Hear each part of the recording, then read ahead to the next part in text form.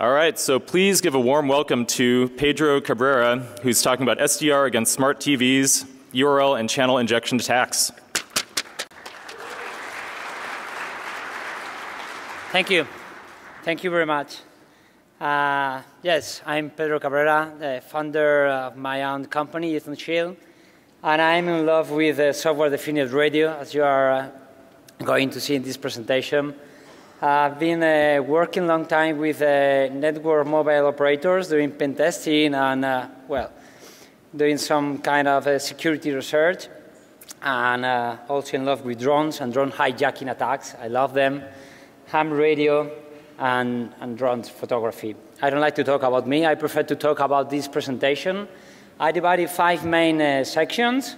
I would like to introduce you a little bit the HBB TV system and how we can receive digital television in our Linux box. Once we learn how to receive television, then we will be able to move forward into the channel injection. We will transmit our own channel. We will play a little bit with the different uh, receiving stations, antenna facilities, and so on, playing with the attack's scope or impact. And finally, we'll move towards the URL injection attack, targeting the smart TV browser and of course, why not, conclusions. So HBB-TV uh, stands for iBrad Broadband and Broadcast Television. It's like kind of thing we are every day hearing about uh, customized advertising. Televisions have been there from since 1940, and they are just uh, passive boxes that receive signals from the broadcast signal and made their magic to turn into audio and video. But in 2009, Whoop, thank you, sorry. European uh, came with a project, merging two existing projects, German and French project, to say, hey, why not to make interaction, interactivity television so we can offer uh, customized advertising to the audience. And how they achieve this design if you uh, take a look at the right of the screen, you will see a red bidirectional arrow because the smart TV receives from the broadcast signal an URL, a URL, sorry, and will send its uh, GET uh, request to this web server. Nothing new, it's just a web server. But through this web page, it's called in the standard, it's called an application. Television and web server will interact. So in that case, the audience uh, watching TV with their remote are able, able sorry, to interact with the TV channel. And uh, let me introduce you a very uh, generic, this is of course a simplification of a generic TV uh, network diagram. I want just to share with you the key elements. Generate the, content, it's uh, at the left, Think about reporters traveling with these bands with a huge uh, satellite dish on top. They are transmitting uh, content on real time towards through an acquisition network to the main head end. They are receiving content from TV studios, reporters, third parties, whatever. They need to take all this content and process, let's say, to be ready to be available in all the TVs. If we are talking about a national TV channel, all the TVs in the country are, must receive this uh, signal. So this is made through a distribution network. Signal, its processed, and then delivered to the whole country through this distribution network. Okay? And HBB TV relies in the digital video broadcast standard. There are three different flavors, satellite, terrestrial, and cable. We will focus, as the, we are talking about the smart TVs at home, we will focus just in the terrestrial one, DVB-T. I don't know why, but in Spain we like to rename things with a different name. So we rename this as TDT. Uh, of course, if anyone is going to look any specification, it's nothing about TDT. It's DVB terrestrial, DVB-T.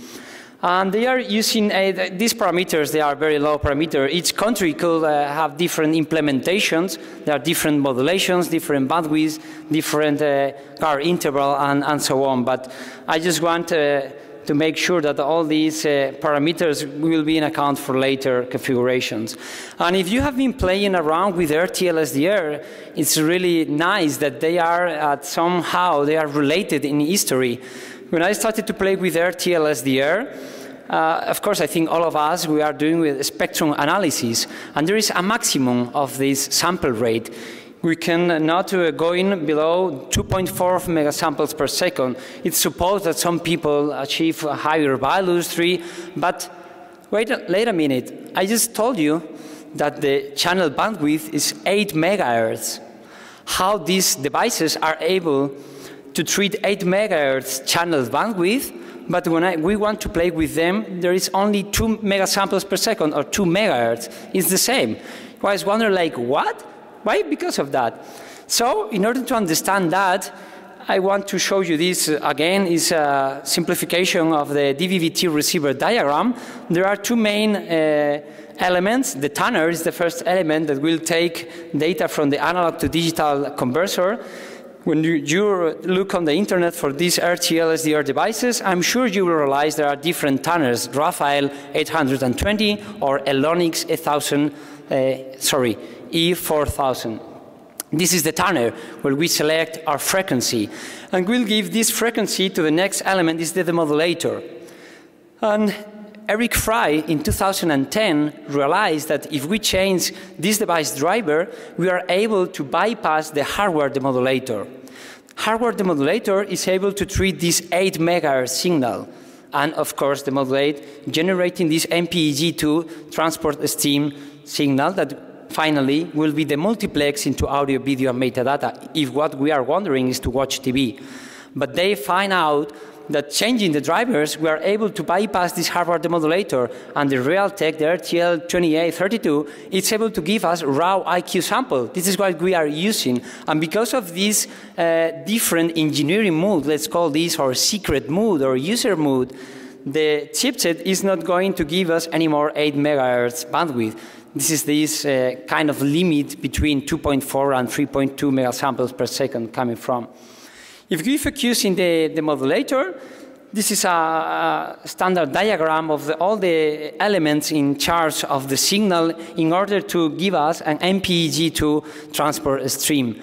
And we are going, we would like to do that by our own in our computer using GNU Radio.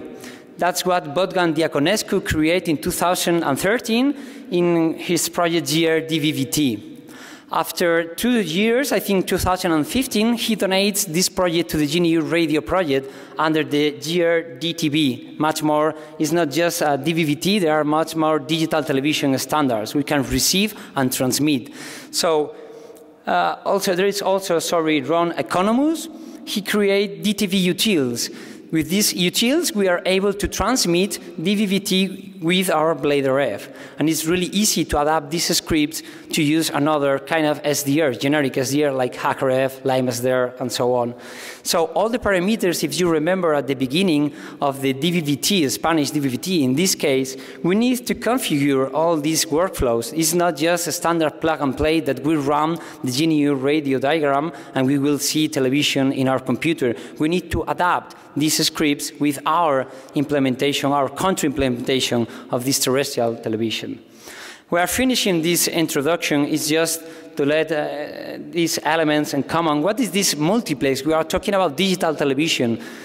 The, what changed from analog, the previous one, is if you realize in these frequencies, when you take your channels list, there are a lot of different channels stations sharing the same frequency because they are multiplexed. In the same signal, if you, if you use HackRF and we tune into this uh, singles frequency, we will see just a bunch of 8 megahertz signals. And inside, they are the different channels station multiplexed. That what doesn't mean. If uh, we use the HackRF sweep utility, this very nice view of the whole TV spectrum, we can take the whole 400 megahertz, and we don't need anymore to go to these web pages where we are, have listed uh, the TV stations and frequency that is always a nightmare. A lot of the different uh, TV manufacturers have problems with these channels. The lower ones or the higher ones frequency, most of the times they don't uh, have problems, sorry, to tune. It's a different way to see all these channels in the same time. The same could be achieved using the RTL SDR. If you know this utility, the RTL underscore power will generate a CSV file And uh, using a Python utility, we can transform into a nice image like this one. So it's the same. Same different, sorry, the only difference is the HackRF is real time and uh, RTL it needs to treat this information offline. But we will generate a nice view of the whole TVX spectrum and we will find out who is transmitting and the frequencies. And let me finish with this uh, background of hijacking. When we want to do a channel injection or uh, hijack television, we look uh, backward to the history. There are two uh, nice uh, occasions in the past, in 1986 and 1987, Captain Midnight and Max Headroom. This taken from the Wikipedia, of course. These two uh, real cases of TV channel hijacking were in the United States. One is, the first one is, was a satellite signal being uh, impersonated, and the 1987 was uh, two, uh, two, different interruptions with a man with this mask uh, singing and doing strange things. Also in the Lebanon in 2006, uh, anti-Hezbollah propaganda was being used to, well, impersonate. And if we focus in the smart TVs, what's going on so far? Probably you will remember Weeping Angel, CIA, WikiLeaks, that uh, you, we can turn Samsung Smart TV into a microphone, but this attack requires local access in order to do this exploitation. 2015 uh, theoretical attacks about this uh, hijacking uh, start to grow. And two years ago, Rafael Schill in 2017, Hacking a Smart TV presentation saw how to exploit two different vulnerabilities of two different Samsung Smart TVs. I think one was JavaScript and Flash video vulnerabilities, but he uses a real, was not SDR, was a proprietary uh, transceiver to transmit his uh, signal, his poison signal, let's call this, using a Windows software, everything proprietary. That was one of my main motivations to create this. I'm not focusing my work, my research in manufacturers, specific manufacturers, manufacturers, sorry, or zero day was to create an open source methodology so we can play with our SDR devices, any of them, not just one manufacturer, HackerF, BladerF, whatever, with open source softwares in order to research our smart TV's vulnerabilities. So, let's move forward with our first attack, the channel injection. What we would like to do now is to transmit our own TV signal. So we are going to impersonate with our uh, equipment, with our laptop, the whole TV network. We will transmit with our SDR device. We can transmit using the radio, or we can transmit using the wire. Okay? How we achieve this, how we accomplish this mission? We need to take our Poison video file, and we need to put some ingredients because the video file needs to add some parameters, some metadata in order of the television uh, demodulator to take this signal as a valid one. Once we forge this uh, valid transport stream, we will broadcast the transport stream with the GR DTV utility, and of course, we will be on air. In order to take this or generate this transport stream video, this Poison file, we could use, as we are just talking about uh, video or channel injection, we can use a very simple attack using FFmpeg. We could take any video file with any codec and output into a transport stream and put all the parameters you have uh, below, network ID, and stream sorry, ID, service ID, and so on. We need to take this exactly the same parameters as the valid channel we, are, we want to replace or to impersonate. Or we can use OpenCaster. OpenCaster is much more complicated. It's not a command line. It's a Python script, but we have all the parameters. Later on, for the URL injection attack, we will need OpenCaster. Again, we need to modify all these four parameters. And how to take these parameters when we face our, face, our first sorry, project, we don't know these parameter values. But using Caffeine, for example, a nice desktop uh, utility to watch TV on Linux, double-clicking on uh, the channel station will come up this small window and will show up not only the frequency, but the network ID, stream ID, all the parameters we need to impersonate are there. If we don't like, you don't like desktop uh, graphical utilities, we can use the VV5 scan. Inside the VVV5 tools, it's just command line and will create a text file with once per uh, channel and all the parameters inside. So it's really easy. We take all these parameters, we forge our own transport stream, and that's the original television antenna, the white one, BladeRF using a small antenna. I'm ready. This is not still uh, transmitting, it's waiting. We saw we're watching TV, Spanish 24-hour uh, news channel. So we'll start transmission. Pedro on air. Here we are, injecting our own channel.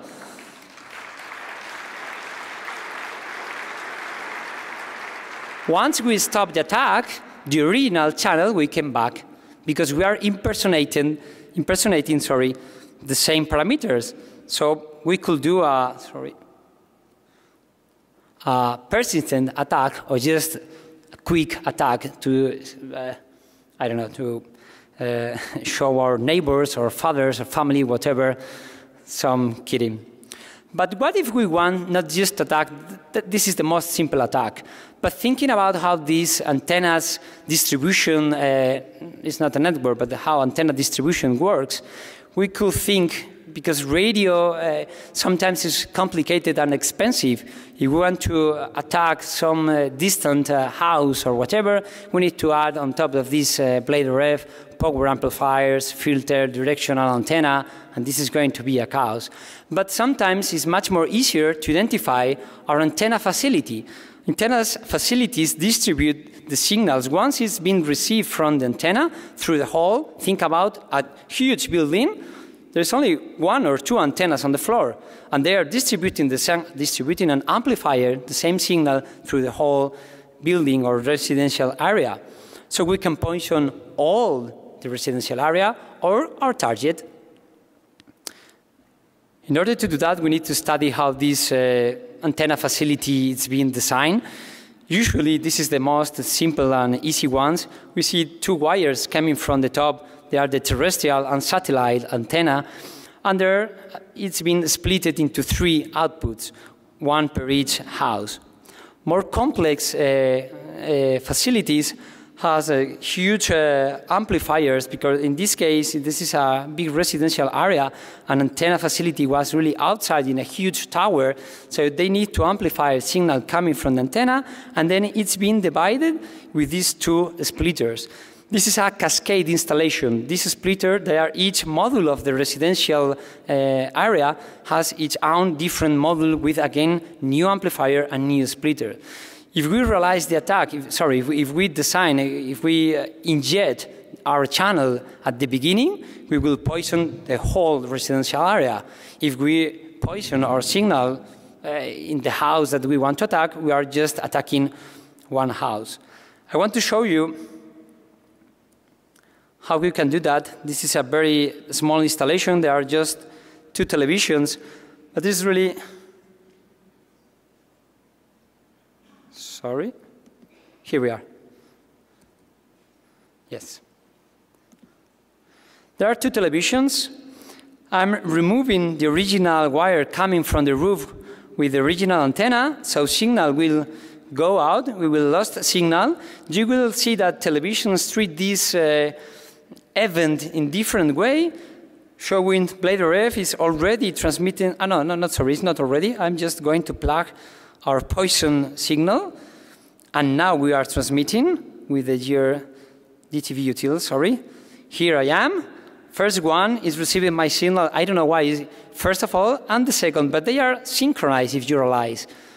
Even if one takes more time, they are uh, doing this demodulation process not at the same speed, but I will remove again the wire, and when the original signal came, both of these two televisions will be again synchronized, I mean, content.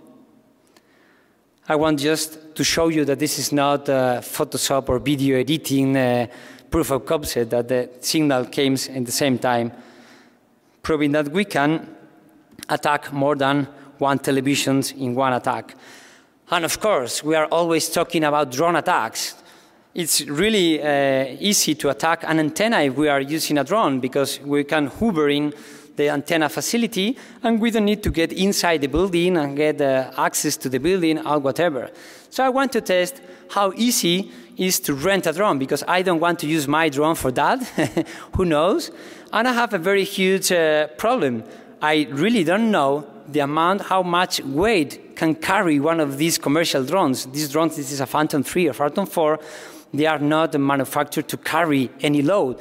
So there is no specifications eh, from the manufacturer about the amount of weight they are able to carry. But we have a lot of videos on YouTube of crazy people taking these buckets full of water with a rope and they start to fly. They are measuring uh, 500 grams, one kilograms. They are really crazy. So after seeing a lot of these crazy videos and finding this web page, I get myself a limit, 300 grams. That was the weight I need for my payload. And that fits perfectly with a HackerF, a power bank, and the Odroid C2. I was not, uh, was for me impossible to do this attack with a Raspberry Pi 3. I, I, already tried, believe me, a lot of times, but doesn't have a computational resource enough to do our transmission constantly in time. And we want our victim to really realize and see our video. So I'm using an Odroid C2. And all of this setup is just 300 grams. So we need to do this design to be really stick and not to move in the drone for the dynamics flight, if we are flying with uh, components moving, our gravity center is going to be moving, and for sure the drone is going to finish on the floor and crashing. So take these three elements, stick them very good, adapt our scripts because the Odroid C2 is not able to generate content in real time. Everything is doing the Odroid is transmitting the already poisoned video generated in another computer. And after a few days working,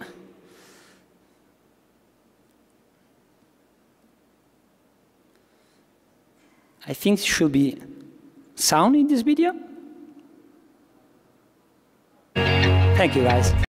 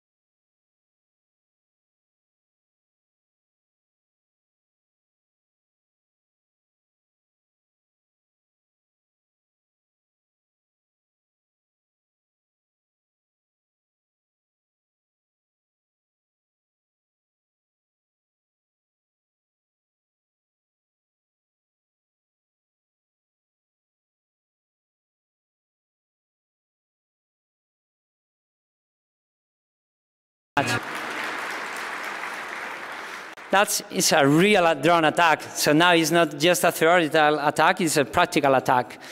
And let me just uh, sum up, because these three videos are just proof of concept. I don't have any uh, governmental or uh, private company support in order to demonstrate that these videos or these attacks could be done much wider, not just focusing on one smart TV.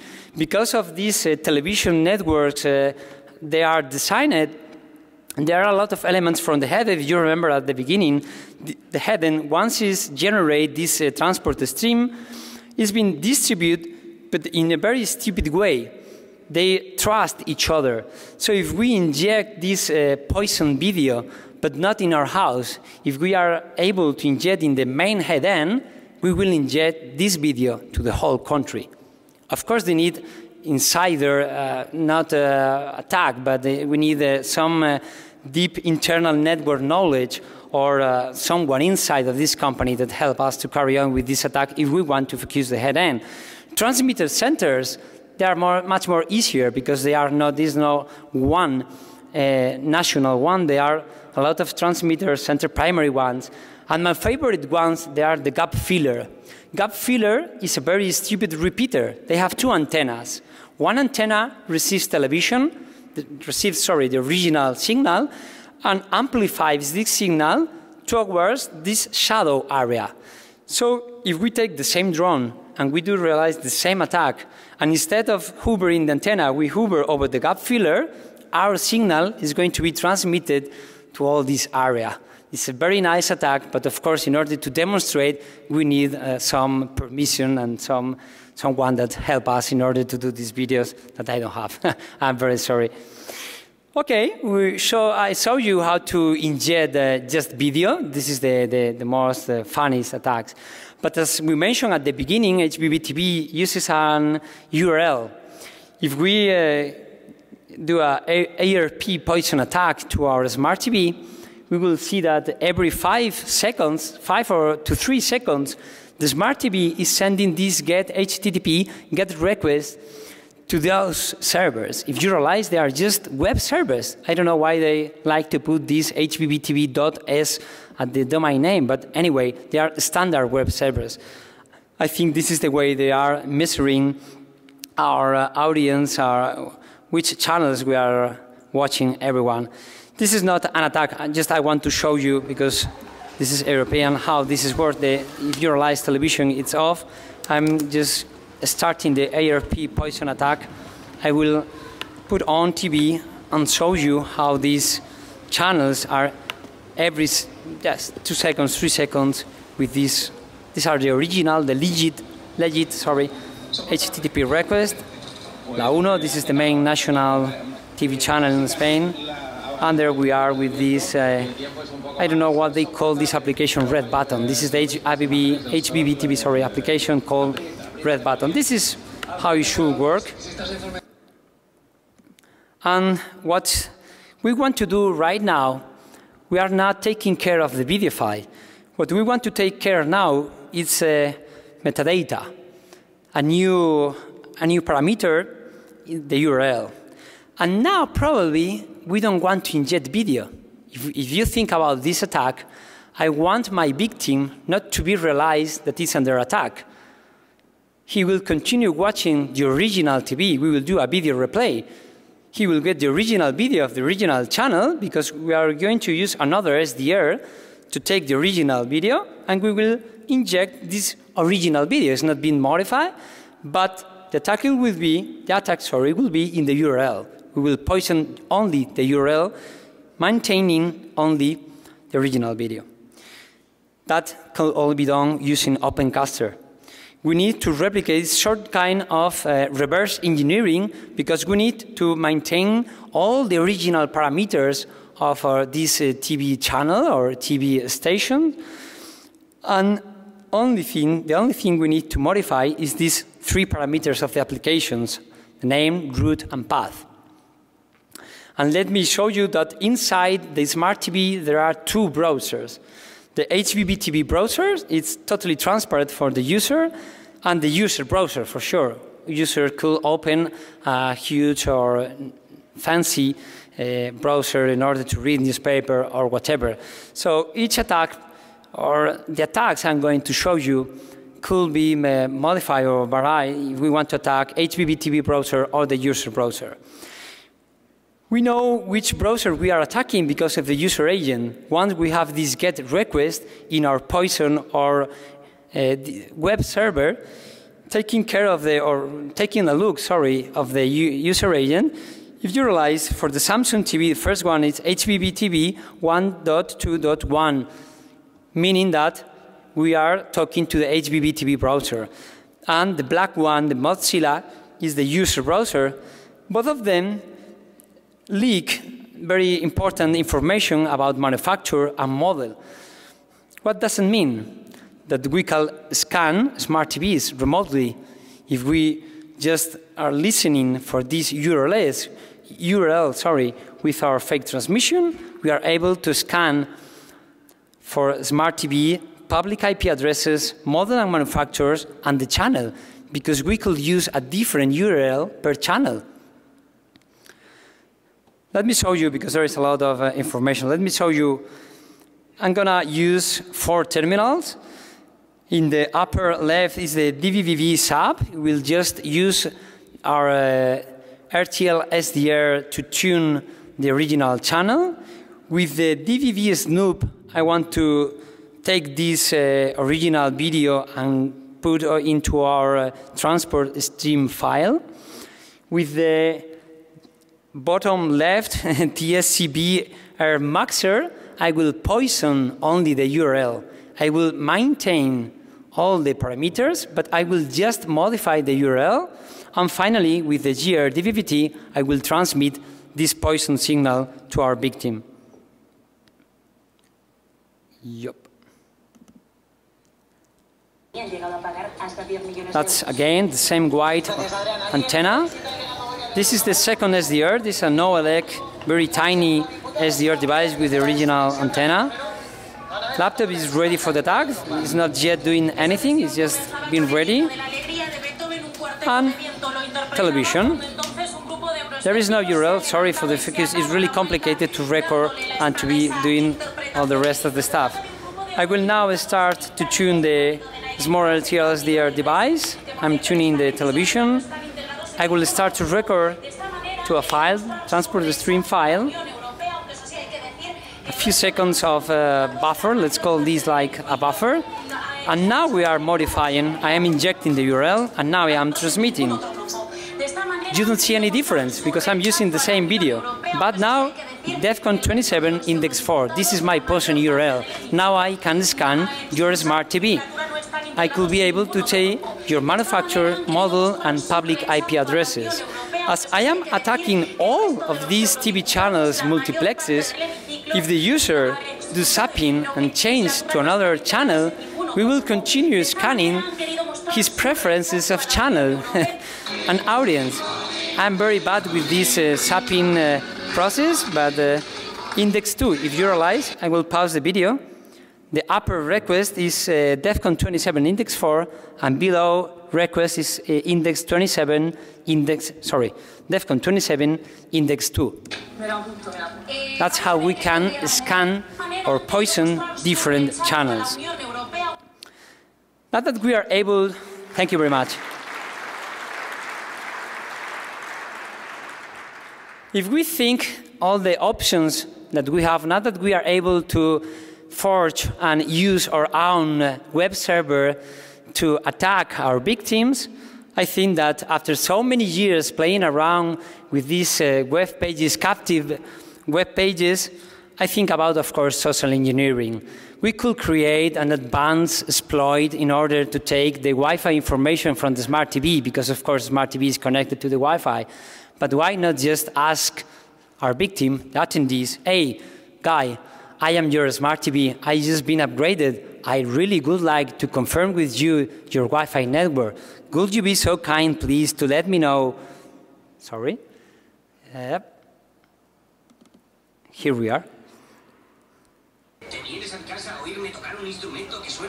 Could you be so kind to let me know what's your Wi-Fi?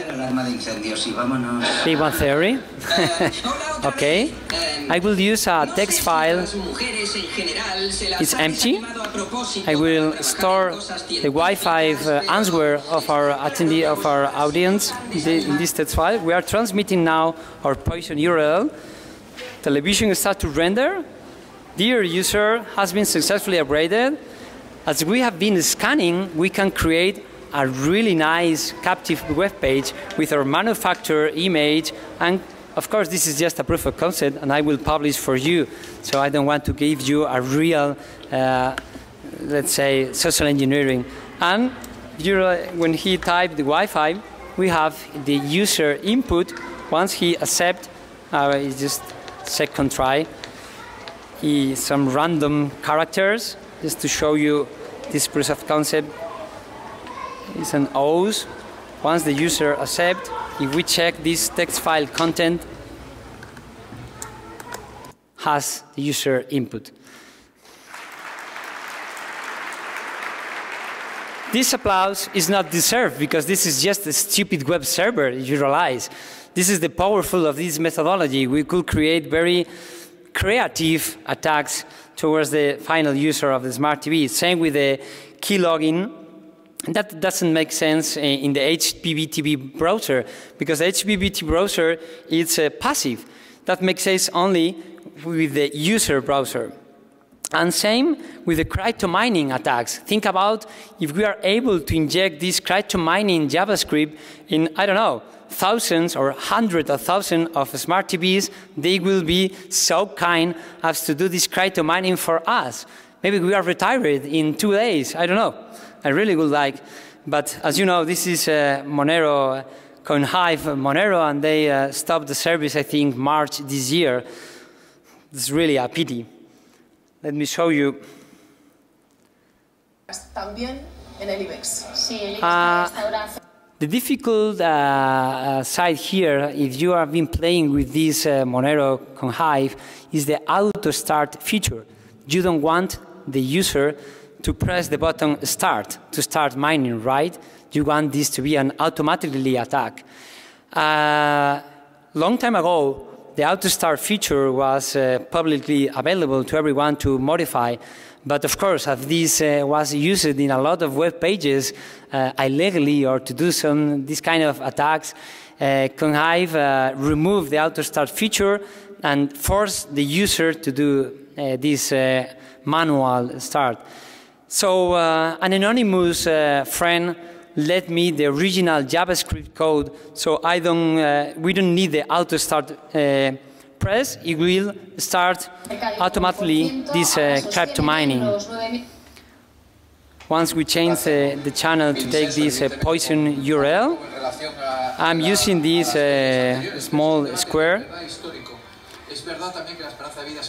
We are, if you realize, the second request is the JavaScript. We inject the JavaScript file, la sexta slash simple ue min.js.